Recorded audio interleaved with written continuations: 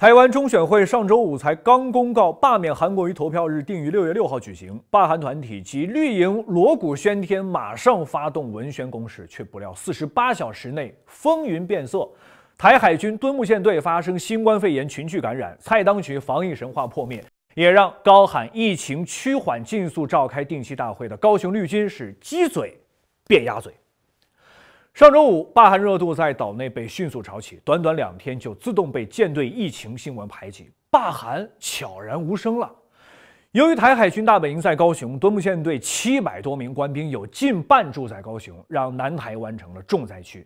韩国于二十号一早八点多就戴上了 N95 口罩，视察确诊官兵去过的地点消毒工作。除了市政，亦有与罢免案直球对决的意味。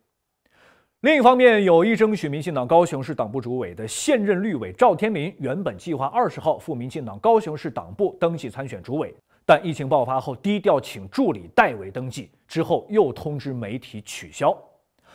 民进党高雄市议会党团日前鉴于台湾防疫工作有成，连几日零确诊，是进一步要求议会取消四月二十二号至二十四号的临时会，改以定期大会方式进行。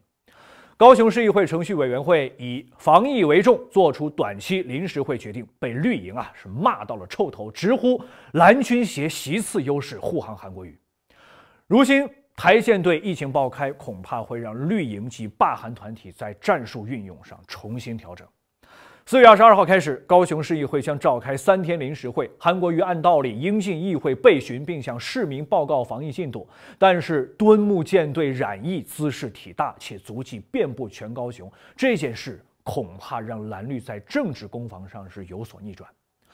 韩国瑜的政治生命、罢韩运动及新冠肺炎，是不知不觉在这两天交织出一张史无前例的联动蜘蛛网。放眼台湾政治历程，恐怕韩国瑜又将写下另一项记录。